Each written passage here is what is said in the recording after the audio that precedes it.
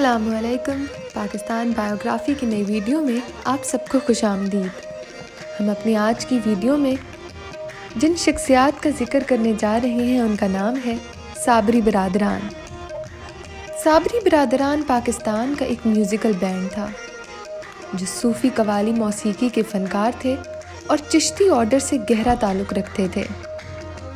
इनका शुमार हर दौर के अजीम सूफ़ी कवाली गुलकारों में होता है। साबरी बरदरान की क़्यादत ग़ुलाम फ़रीद साबरी और इनके भाई मकबूल अहमद साबरी ने की।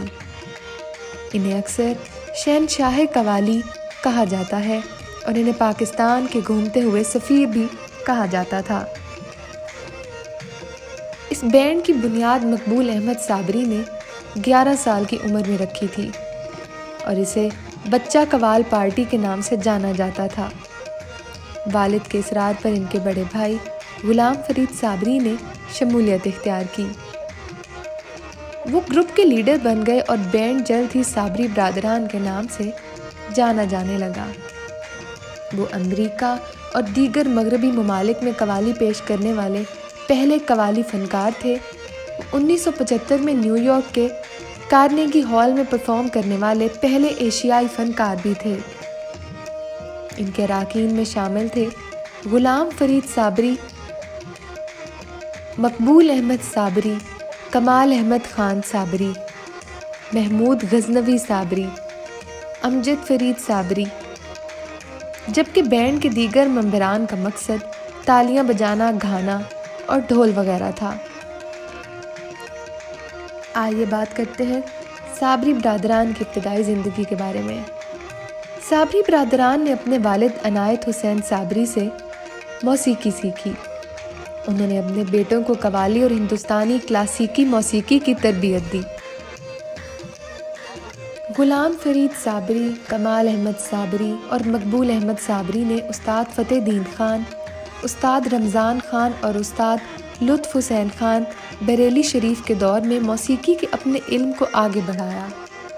उन्होंने हज़रत हायरत अली शाह वारसी, जो कि इनके रूहानी उस्ताद थे, के मातहत शायरी के इल्म में भी इजाफ़ा किया। गुलाम फरीद साबरी की पहली अवामी कारकर्दगी 1946 में कुलियाना, जो कि अब हरियाणा है, हिंदुस्तान का हिस्सा है, इसमें मुबारक शाह के सालाना उर्स मेले में की।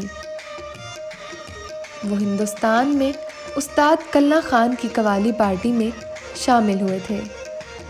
ये ख़ानदान उन्नीस में तकसीम हिंद के बाद कुलियाना से कराची, पाकिस्तान चला गया।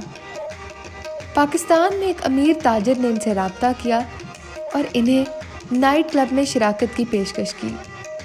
फिर भी गुलाम फरीद का जवाब था कि वो सिर्फ़ कवाली गाना चाहते हैं और उन्होंने इस पेशकश को ठुकरा दिया। मकबूल अहमद साबरी ने भी छोटी उम्र से ही मौसीकी की सलाहियतों का मुजाहरा किया। जिसे इनके स्कूल के उस्ताद ने देखा, जिन्होंने बाद में मकबूल के वालद से कहा कि वो मौसीकी के शोबे में इनकी मज़ीद रहनुमाई करें। 1955 में जब मकबूल 11 साल के थे तो इनके बहनोई ने इन्हें कराची के एक थिएटर में गाने की नौकरी दिलाई, जहाँ उन्होंने अपनी पहली अवामी परफॉर्मेंस दी।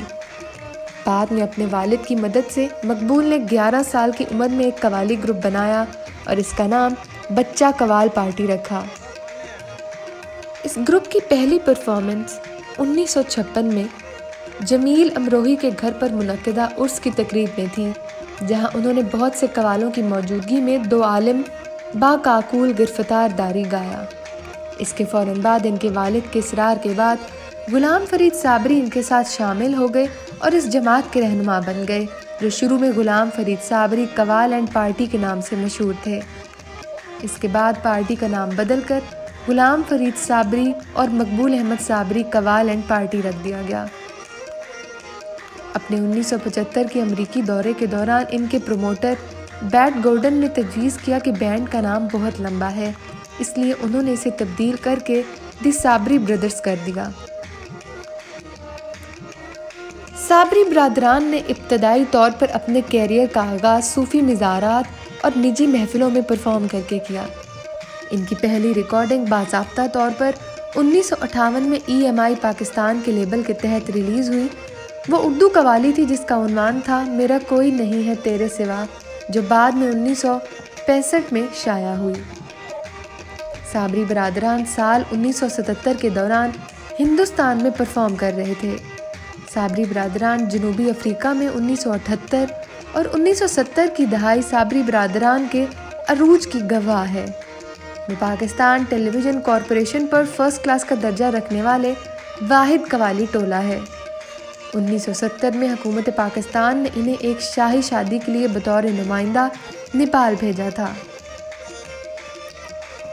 वो 1970 का ही साल था, जब साबरी बरदरान ने अपनी सबसे बड़ी हिट कवालियाँ रिलीज़ की, जिनमें भर दो झोली मेरी या मोहम्मद ताजदार हरम ए शराबी छोड़ दे पीना ख्वाजा की दीवानी और सरेला शामिल हैं। यहाँ तक कि इनकी तरफ़ से पढ़ी गई कई कवालियाँ भी फ़िल्मों में पेश की गई, जिनमें 1970 की फ़िल्म चाँद सूरज में मोहब्बत करने वाले हम मोहब्बत इसको कहते हैं।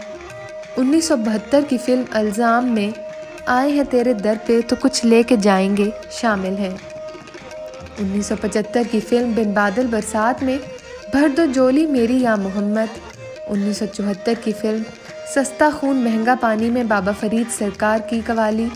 1976 की फ़िल्म सच्चाई में तेरी नज़र करम का सहारा मिला।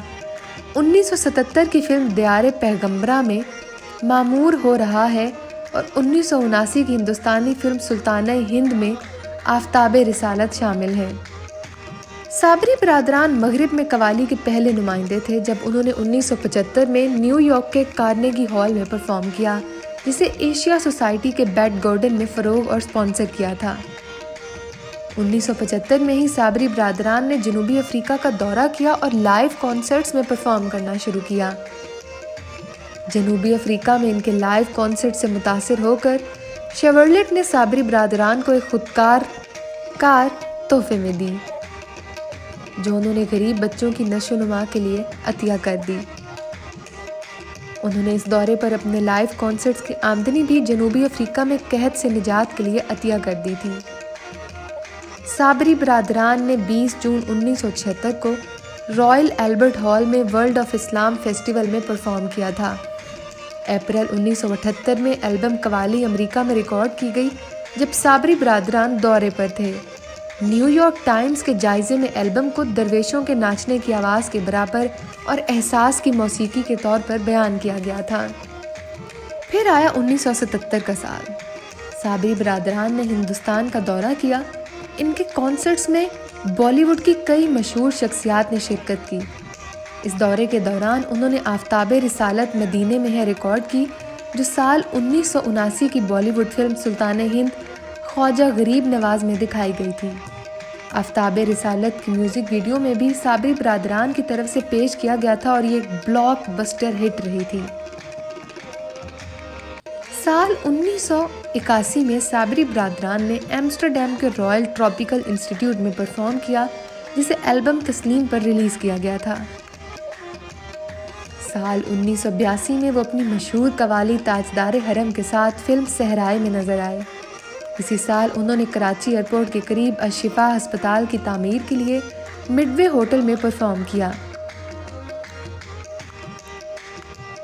1988 में ईएमआई e पाकिस्तान ने मकबूल अहमद साबरी की एक और गज़ल का एल्बम, तेरे घुंघरू टूट गए तो क्या रिलीज़ किया, जो बहुत हिट हुआ।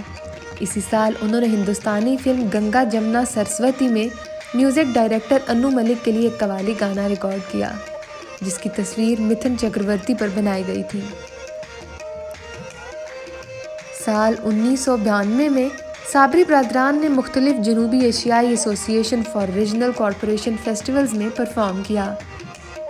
उन्नीस में गुलाम फरीद साबरी ने यूरोप का दौरा किया और बरतानिया और जर्मनी में कवाली पेश की।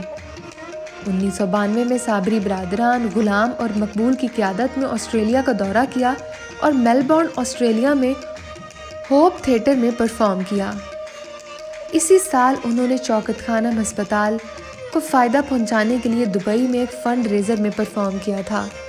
उन्नीस सौ बानवे में उन्होंने सार्क मेले के लिए मुख्तलिफ़ ममालिक में परफॉर्म भी किया।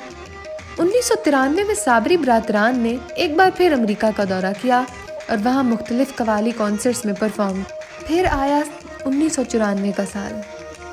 अप्रैल उन्नीस सौ चौरानवे में साबरी बरदरान पूरे यूरोप के दौरे पर जाने वाले थे। इन्हें तकरीबन 30 से 35 शोज़ में परफॉर्म करना था, जिसमें तकरीबन पूरे बराज़म का अहाता किया गया था। 5 अप्रैल उन्नीस सौ चौरानवे को गुलाम फरीद साबरी ने अचानक सीने में दर्द की शिकायत की। इन्हें दिल का शदीद दौरा पड़ा और इन्हें अस्पताल ले जाया गया, लेकिन वो रास्ते में अपने भाई मकबूल अहमद साबरी की गोद में चल बसे। मकबूल अहमद साबरी दिल शिकस्ता रह गए लेकिन फिर भी अपने और अपने बड़े भाई के मिशन को जारी रखा। एक एल्बम को मुकम्मल तौर पर जामी की फ़ारसी शायरी के लिए वक्फ करना, जो कि सूफ़ी रवायत का एक चिराग है, गुलाम फरीद साबरी के पसंदीदा अजाइन में से एक था। उन्होंने जुलाई उन्नीस सौ इक्यानवे में बर्लिन के एस एफ़ वी स्टूडियोज़ में रिकॉर्डिंग की, लेकिन जब वो ज़िंदा थे तो सीडी जारी नहीं की गई। उन्नीस सौ चौरानवे में गुलाम फरीद साबरी की वफ़ात के बाद मकबूल अहमद साबरी बरदरान के वाहिद रहनमा बन गए। और इनके सबसे छोटे भाई, महमूद गजनवी साबरी ने दूसरे अहम गुलकार और हारमोनियम प्लेयर का किरदार अदा किया। उन्नीस में भी मकबूल अहमद साबरी और महमूद गजनवी साबरी की क्यादत में साबरी बरदरान ने जर्मनी में मुनदा वोमेक्स फेस्टिवल और न्यू जैज़ फेस्टिवल में परफॉर्म किया। उन्नीस में मकबूल अहमद साबरी बरतानिया में मुनदा मेल्ट टाउन फेस्टिवल में परफॉर्म करने वाले थे। तकरीबन इससे एक हफ़्ता कबल वो लाहौर में एक बड़े हादसे का शिकार हो गए। इसी दौरान इनकी हालत तशवीशनाक थी और दुनिया भर में लोगों ने इनकी सेहत के लिए दुआएँ की। वो एक माह के अंदर मौजाना तौर पर सेहतियाब हो गए। हालाँकि हादसे के बाद इनकी एक टांग खराब हो गई थी और इनके घुटने की मुतद सर्जरियों से गुजरना पड़ा था। साल उन्नीस में साबरी बरदरान ने एक बार फिर रॉयल एल्बर्ट हॉल में Prince of Wales, Prince Charles के सामने श्रीलंका और बांग्लादेश के साथ मिलकर हिंदुस्तान और पाकिस्तान की आज़ादी के 50 साल के जश्न के लिए परफॉर्म किया। वो इन चंद फनकारों में से एक थे जिन्होंने रॉयल एल्बर्ट हॉल में मुतद बार परफॉर्म किया था। साबरी बरदरान ने श्रीलंका और बांग्लादेश के साथ मिलकर हिंदुस्तान और पाकिस्तान की आज़ादी के 50 साल के जश्न के लिए समफनी हॉल बर्मिंगम में वक्त दुआ है जो उनकी मकबूल कवालियों में से एक थी परफॉर्म की थी। मकबूल अहमद साबरी और महमूद गजनवी साबरी ने हिंदुस्तान के कई दौरे किए और मुख्तलिफ़ एल्बम्स रिकॉर्ड किए, जिन्हें टिप्स म्यूज़िक ने रिलीज़ किया था। साल 2001 में साबरी बरदरान के दूसरे बड़े भाई कमाल अहमद साबरी दिल का दौरा पड़ने से इंतकाल कर गए। इनकी मौत के बाद साबरी बरदरान के ग्रुप में स्वारमंडल और चेडिया तरंग जैसे आलात का इस्तेमाल ख़त्म हो गया था।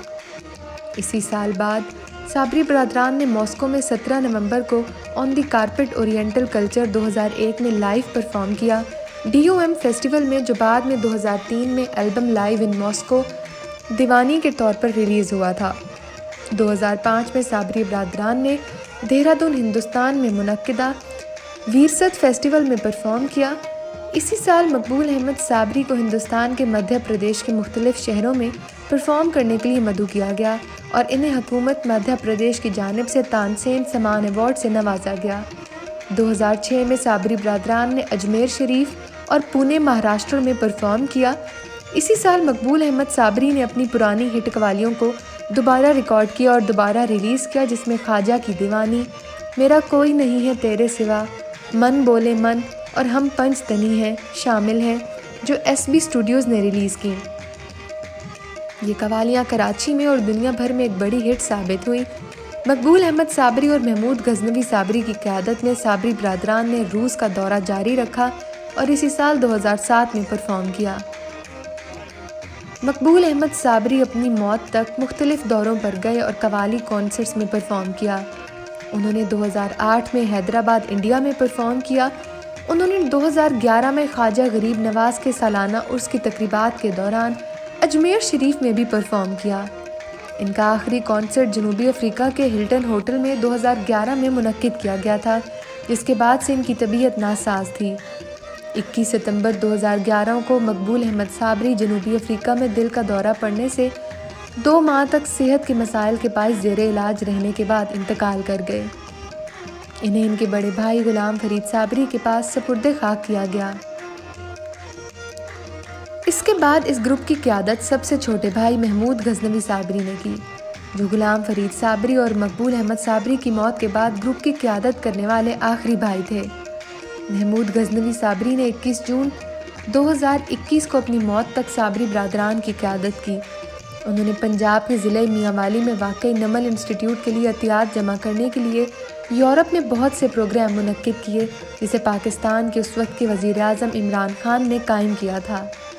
जमा शुदा फंड्स यूरोप में मनद होने वाले बहुत से प्रोग्रामों के बाद घर भेजे गए। महमूद की कवालियों को जर्मनी और कई यूरोपीय ममालिक समेत पूरी दुनिया में पजीराई मिली। बहुत से लोग साबरी बरदरान को नुसरत फ़तेह अली खान से ज़्यादा बहादुर समझते हैं 1970 की दहाई के दौरान दो अजीम सूफी गुलकारों के दरमियान इस वक्त झगड़ा शुरू हुआ।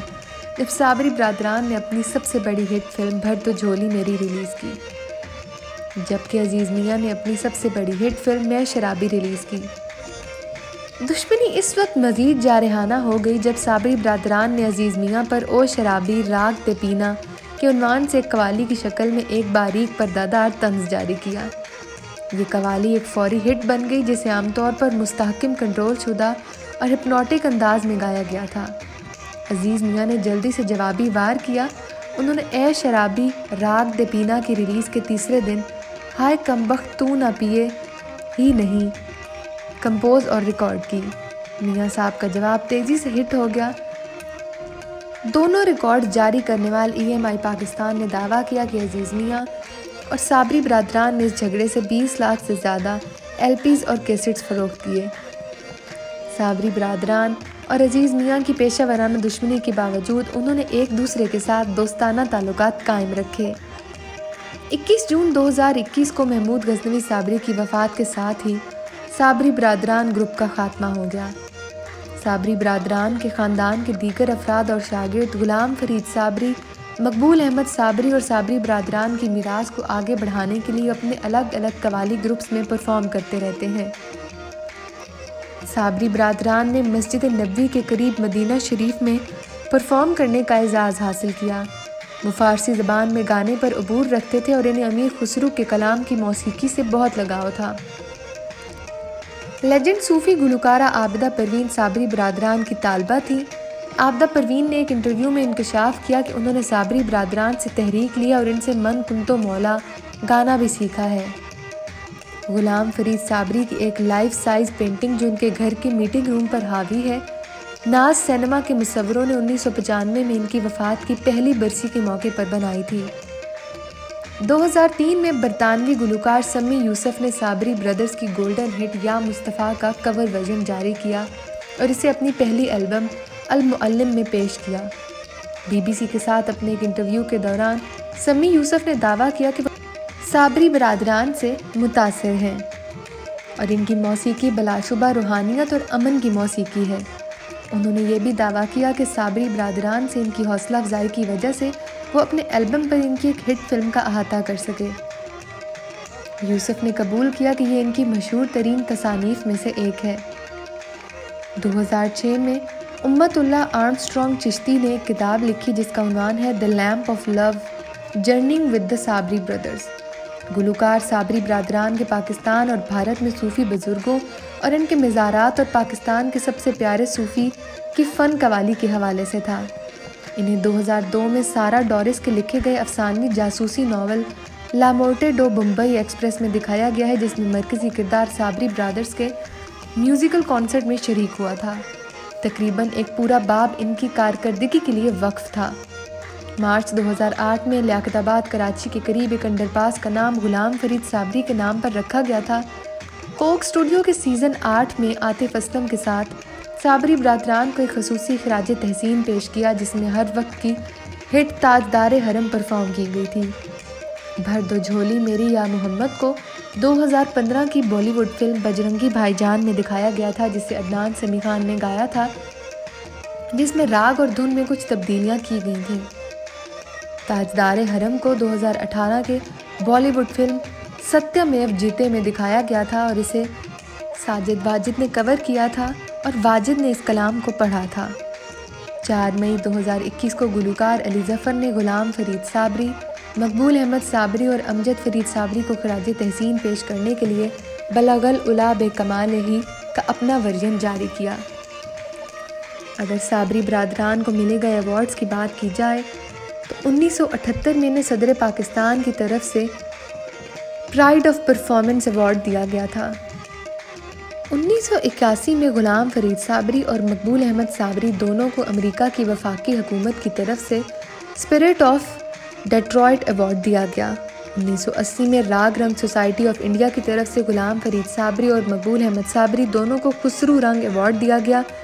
1977 में निज़ामुद्दीन औलिया की मिजार से ग़ुलाम फरीद साबरी और मकबूल अहमद साबरी को बुलबुल ए पाक हिंद अवार्ड दिया गया। चार्ल्स डिगॉल ने उन्नीस सौ तिरासी में ग़ुलाम फरीद साबरी और मकबूल अहमद साबरी को चार्ल्स डिगॉल अवार्ड दिया। ऑक्सफोर्ड यूनिवर्सिटी की जानब से साबरी बरदरान को इनके हिट रिकॉर्ड शिकवा, जवाब शिकवा के एजाज़ के तौर पर डॉक्टरेट की डिग्री दी गई। मध्य प्रदेश की हुकूमत ने 2005 में मकबूल अहमद साबरी को तानसेन समान अवार्ड से नवाजा था। तो नाजरीन, ये थी साबरी बरदरान के हसीन और कामयाब सफ़र पर एक नज़र। उम्मीद है आपको हमारी बाकी वीडियोस की तरह ये वीडियो भी पसंद आई होगी। ये वीडियो हमारे चैनल की तरफ़ से साबरी बरदरान के लिए खराज तहसीन है। अगर आपको हमारी ये वीडियो पसंद आई है तो इसे लाइक और शेयर करना मत भूलें। अपना फीडबैक हमें कमेंट्स के ज़रिए ज़रूर बताएँ और साथ ही साथ हमारे चैनल पाकिस्तान बायोग्राफ़ी को सब्सक्राइब भी कर दें। बहुत शुक्रिया।